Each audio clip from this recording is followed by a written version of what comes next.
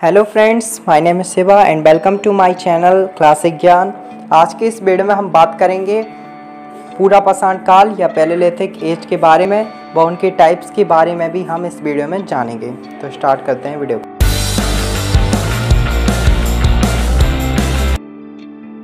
जिस समय में आरंभिक मनुष्य पत्थर का प्रयोग करता था, उस समय को पूरा तत्वविदों ने पूरा पाषाण काल नाम दिया है। पूरा पाषाण काल युग उन सभी युगों में से एक पहला ऐसा युग है, जिसमें मनुष्य कहा जाता है सबसे अधिक दिनों तक जीवित रहा। अब बात करते हैं पैलेलिथिक शब्द किससे मिलकर के बना है और इसका अर्थ क्या है? तो पैलेलिथिक ग्रीक भाषा का एक शब्द है, जिसमें पैल्यूस का अर्थ होता है प्राचीन एवं लिथोस का अर्थ होता है पाषाण।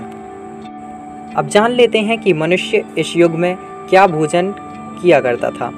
कहा जाता है, मनुष्यों का सारा जीवन पूर्ण रूप से प्रकृति पर निर्भर था। वे आगेठक यानी शिकार से अपना भोजन कंदमूल प्राप्त करते थे। इसे, इसलिए इस युग को आगेठक एवं खाक संग्रहक काल भी कहा जाता है। अब बात करते हैं कि भारत में पूरा पाषाणकालीन युग में मनुष्य कहाँ रहता था। तो भारत में पूरा पाषाण कालीन मनुष्य के शारीरिक अवशेष हमें कहीं से भी प्राप्त नहीं हुए हैं, क्योंकि उनका कोई स्थायी निवास नहीं हुआ करता था। लेकिन कई सारे पुरातत्वविदों का यह भी मानना है कि पूरा पाषाण काल में मनुष्य गुफाओं में रहा करते थे। जैसा कि हम सभी लोग जानते हैं कि आग का आविष्कार एक लाख वर्ष ईसा पूर्व पहले हो चुका था। लेकिन इस काल में मनुष्य को अग्नि का ज्ञान तो था लेकिन वे इसके उपयोग से अभी भी अनविज्ञ थे। वे इसका इस्तेमाल करना अभी भी नहीं जानते थे। पूरा पाषाण कालीन मनुष्य चित्रकारी भी करता था, जिसका प्रमाण हमें उन गुफाओं में, गुफाओं से मिलता है, जिन गुफाओं में वह रहा करते थे। पूरा पाषाण काल में हमें गैंडा और जंगली बैलों के अनेक कंकाल मिले हैं।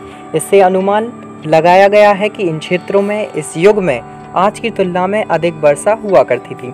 ऐसा अनुमान इस आधार पर लगाया गया है कि गेंडा और जंगली बैल नमी वाले स्थानों में रहना पसंद करते हैं।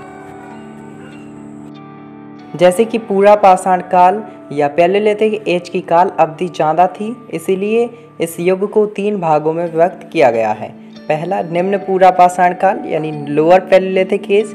दूसरा, मध्य पूरा पाषाण काल, यानी मिडिल पहले पैलेलिथिक एज।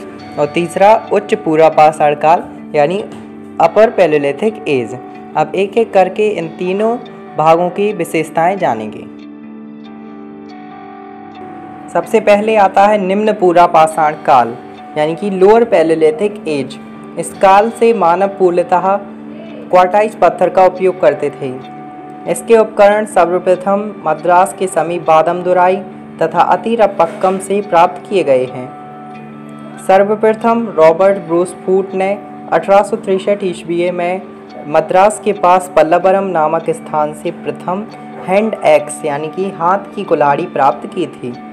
उन्नीस सौ बयासी में अरुण सोनकिया ने मध्य प्रदेश के होशंगाबाद ज़िले में स्थित हथनौर, यानी नर्मदा नदी घाटी से मानव कपाल या खोपड़ी का जीवाश्म प्राप्त किया था, जो भारत में प्राप्त मानव अवशेष का प्राचीनतम साक्ष्य माना जाता है।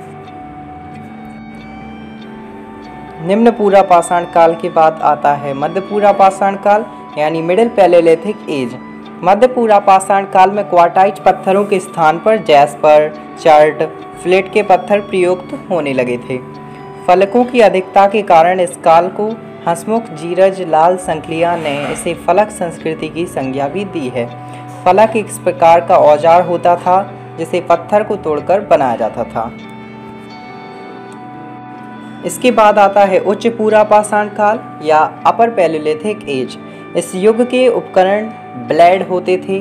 विश्वव्यापी संदर्भ में इसकी दो विलक्षणताएँ हैं। सबसे पहली, नई चमकम उद्योग की स्थापना। दूसरी, आधुनिक प्रारूप के मानव होमोसोपियंस का सर्वप्रथम उदय। बैलन घाटी के लोहनदाला क्षेत्र से विश्व की सबसे प्राचीनतम अस्थि निर्मित स्त्री की मूर्ति यानी मातृ देवी प्राप्त की गई है। इसी के साथ वीडियो ख़त्म होती है। अगर आपको वीडियो पसंद आई हो तो प्लीज़ वीडियो को लाइक कीजिए चैनल को सब्सक्राइब कीजिए, ताकि आप ऐसी इन्फॉर्मेटिव वीडियोस मिस ना करें। Thank you for watching